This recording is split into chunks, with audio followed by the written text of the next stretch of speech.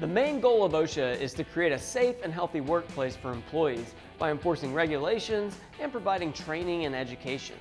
With that said, effective January 1st, 2024, OSHA is introducing an amendment to their occupational injury and illness record keeping regulation, which will now require certain high hazard employers to electronically submit injury and illness information to OSHA.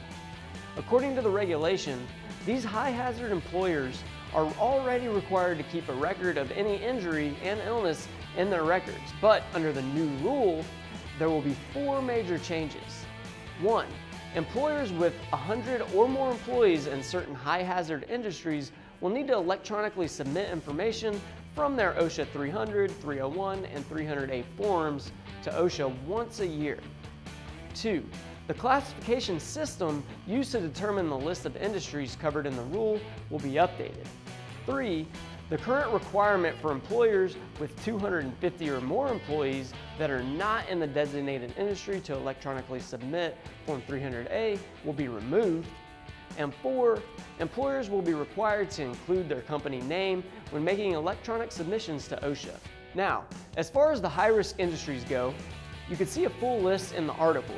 Links are in the description below. But here are a few that were just added.